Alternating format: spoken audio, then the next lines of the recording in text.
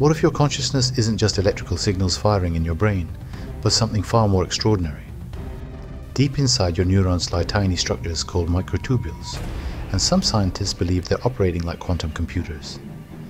This is the revolutionary orchestrated objective reduction theory proposed by physicist Roger Penrose and anesthesiologist Stuart Hameroff.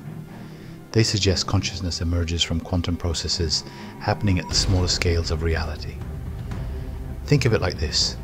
While classical computers use bits that are either on or off, quantum systems can be both simultaneously. Your microtubules might be processing information in quantum superposition, creating the rich tapestry of your conscious experience. This theory could explain why consciousness feels so unified despite billions of neurons working independently. It suggests we're not just observers of quantum mechanics, but quantum beings ourselves. If true, your thoughts aren't separate from the fundamental fabric of reality.